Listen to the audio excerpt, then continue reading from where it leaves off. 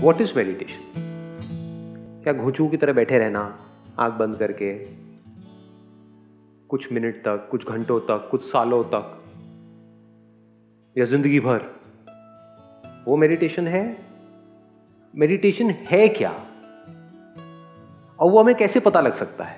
वो तब पता लग सकता है जब आप सही क्वेश्चन पूछ रहे हो। सही क्वेश्चन क्या है? What is meditation not how to meditate हम जाते हैं लोगों के पास में जो हमें लगता है कि वो सेल्फ रियलाइज्ड है एनलाइटेंड है, ये है, वो है, उनके आगे हाथ जोड़ करके बैठ जाते हैं और बोलते हैं, गुरुजी, हमें तो ये बता दो, कैसे करना है मेडिटेशन और सबका अपना अलग अलग स्टाइल है मेडिटेशन करने का, या नहीं है? कोई कहेगा, ये करो, कोई कहेगा, वो करो, कोई कहेगा। अब उसमें से क्या करोगे? हज़ारों, लाखों अलग अलग तरीके हैं लोगों के मेडिटेशन करने के। जैसे एक ही प्रोडक्ट के अलग अलग ब्रांड्स नहीं होते हैं, साबुन खरीदने जाते हैं, उसके अलग अलग ब्रांड्स हैं। चुन लो आपको कौन सा चाहिए? और मज़े की बात क्या है, एक बंदा दूसरे को काटेगा। वो कहेगा, जो मैं बता रहा हूँ, वो सही है, वो गलत है। तारीफ़ थोड़ी करते हैं एक दूसरे की। क्या करोगे? फंस नहीं गए? लगे रहो ज़िंदगी भर, करते रहो कोशिश। कुछ नहीं होने वाला। तो सबसे पहले समझना है व्हाट इज़ मेडिटेशन मेडिटेशन को हिंदी में बोलते हैं ध्यान। तो ध्यान करना नहीं है, ध्यान देना है। मैं ये बात पहले भी बहुत अपने अलग अलग सेशंस में बोल चुका हूँ। ध्यान दो, करो मत। जब करोगे तो वो अपने आप में एक ट्रैप बन जाएगा कि आपको ना आँखें बंद करनी है और अंदर आपको यहाँ पर एक लाइट दिखेगी, फिर उसमें से ये होगा, फिर उसमें से आप निकलोगे, फिर ये होगा, फिर वो होगा। कुछ भी इमेजिन करते रहो। कभी भूले भटके कोई लाइट दिख जाएगी, वो भी क्या होगा? बाहर ना, किसी ने लाइट जलाई और बंद कर दी और आपको लगा अंदर कुछ हो रहा है। वो कहोगे वापस क्यों नहीं हो रहा? अब आप उसी एक्सपीरियंस के पीछे भागते रहोगे। तो क्या आप फंस नहीं गए हो? एक एक्सपीरियंस हो गया, अब उसको रिपीट करने की कोशिश कर रहे हो। क्या इसी वजह से हम दुखी नहीं होते हैं? आप समझ रहे हो ट्रैप पकड़ पा रहे हो? आप चाहते हो टेक्निक बेस्ट टेक्निक जिसको आप फॉलो करो, उसके बाद में आपकी सारी प्रॉब्लम सॉल्व हो जाए। This is what you want तो ऐसी अनलिमिटेड दुकानें हैं। कहीं पर भी जाकर के फंस जाओ।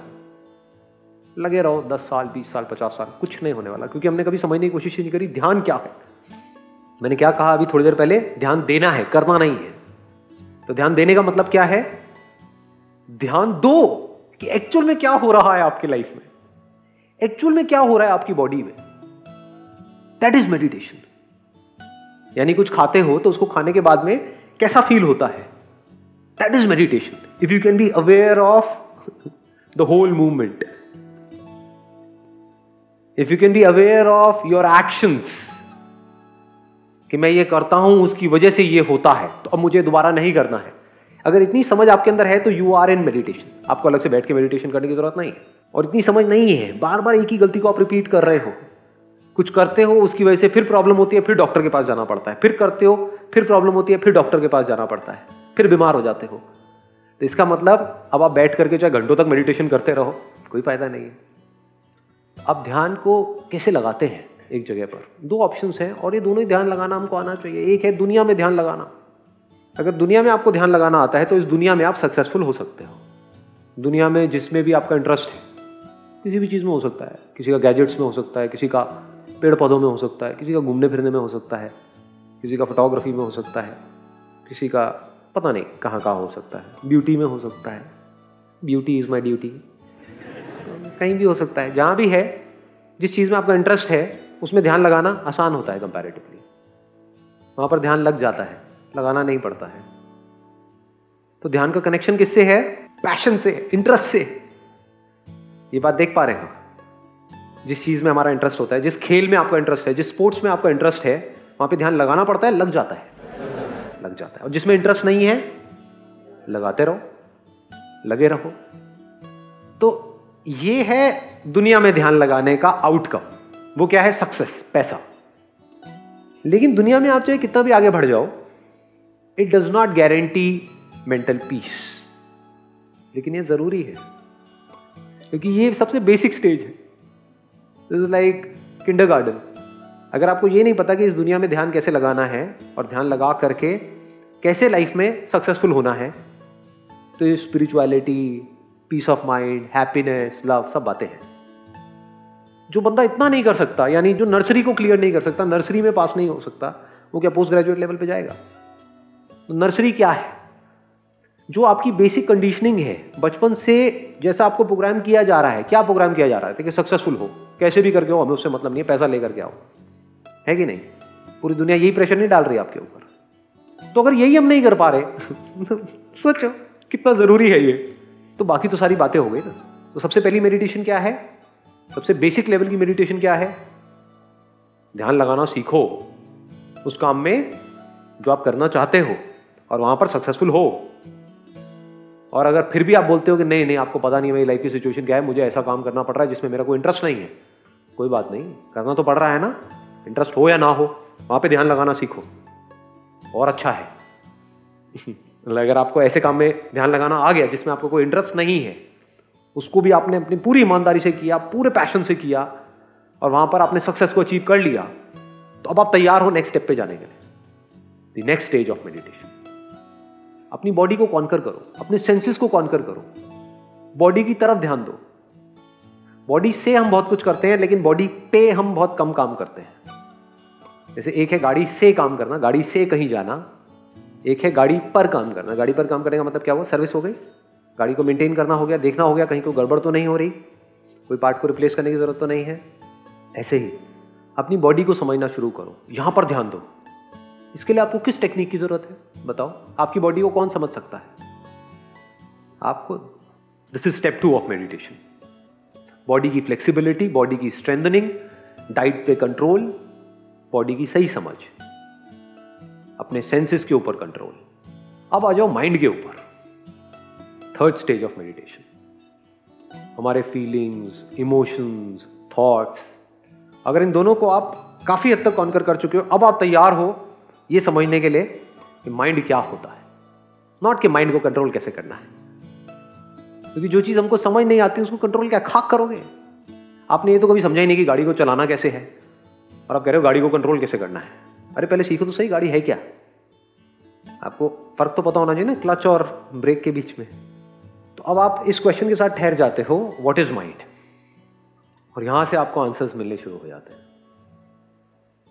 किसी भी प्रॉब्लम का सॉल्यूशन प्रॉब्लम में होता है।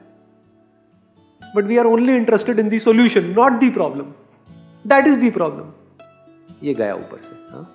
बाउंसर? देखो माइंड पीसफुल कैसे रहे हमारा? इसका जवाब कहाँ है? किसी किताब में है, किसी की बातों में है, कहीं नहीं है, ढूंढते रहो। जो आपका अपना एक्सपीरियंस है, यानी कि आपका माइंड रेस्टलेस है, वहीं पर उसका आंसर है। दुखी हो तो उसका जवाब उस दुख में है। बट उस दुख के साथ हम ठहरते नहीं है। रेस्टलेस माइंड के साथ हम ठहरते नहीं है। We want that mind to be peaceful immediately that is the problem ये वही फ़र्क है जो एलोपैथी और आयुर्वेदा में है।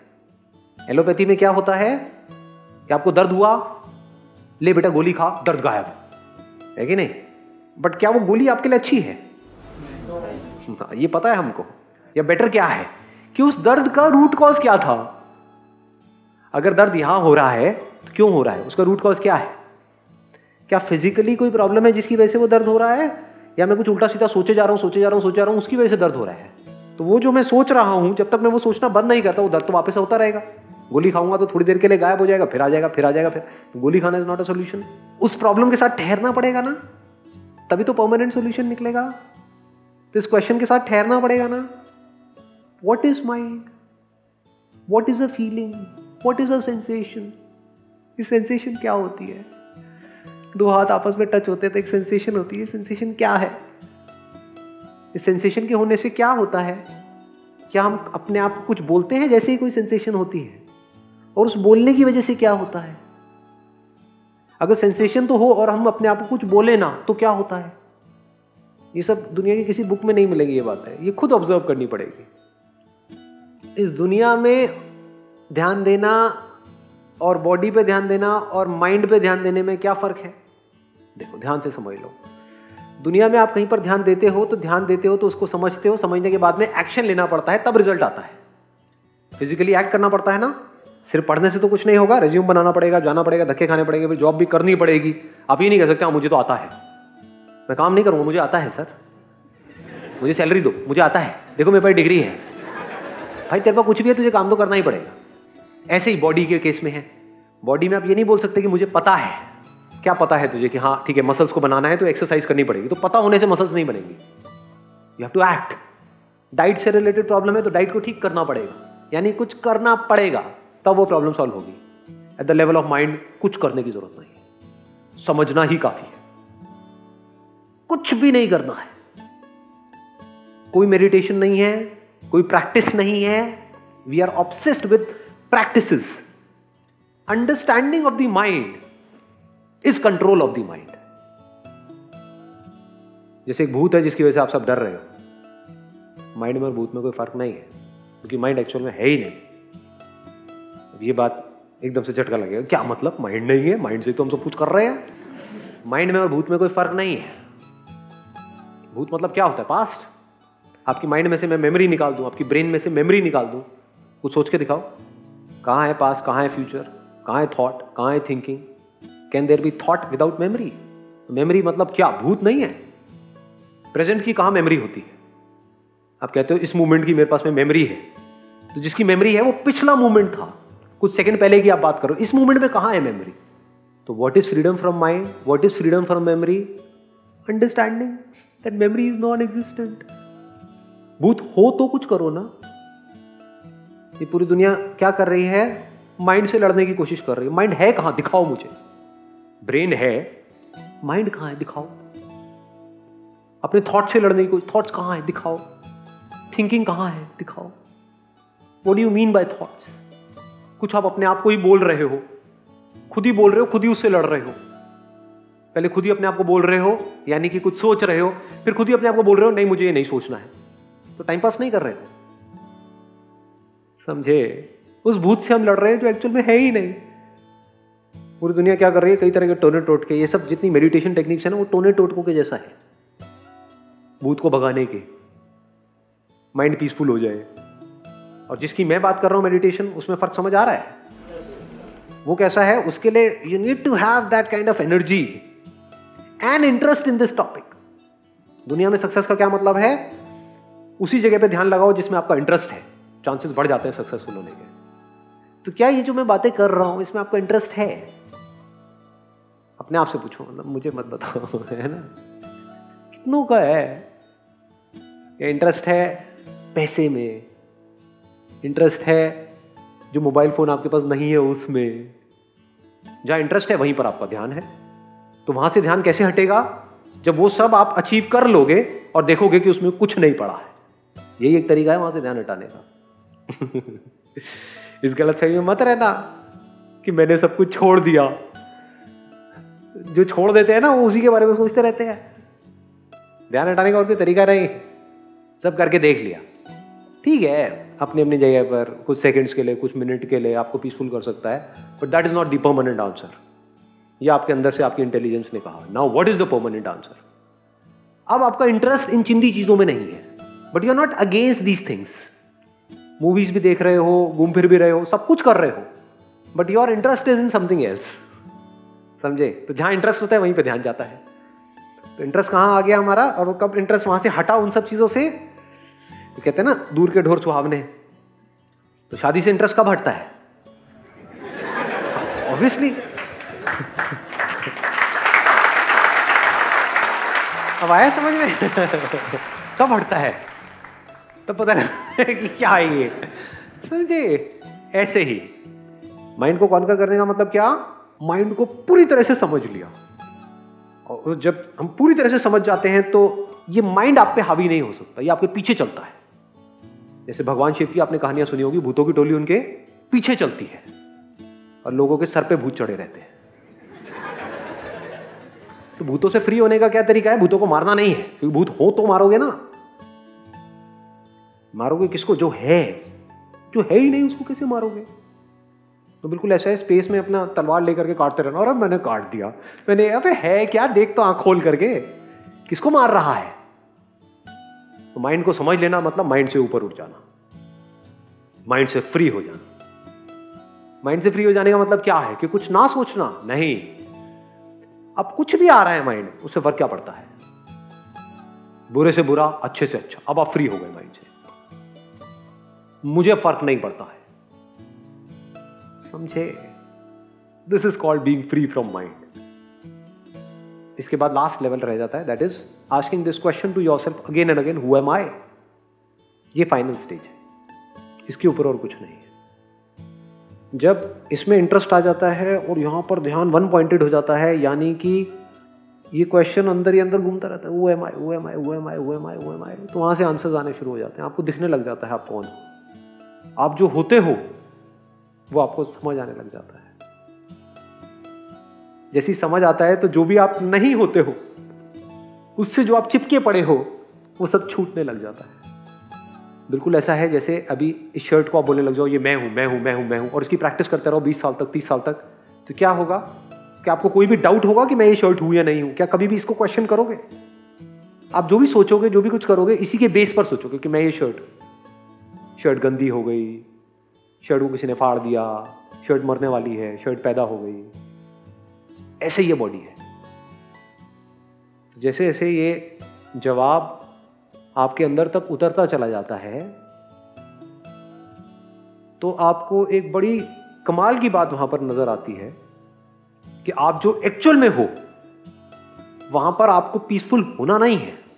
उस लेवल पे आपकी पीस को डिस्टर्ब करने का कोई तरीका नहीं है।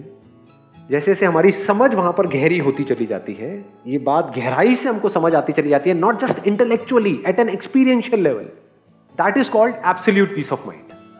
That is called permanent happiness. So you don't have to achieve happiness, you just have to understand that my very nature is happiness.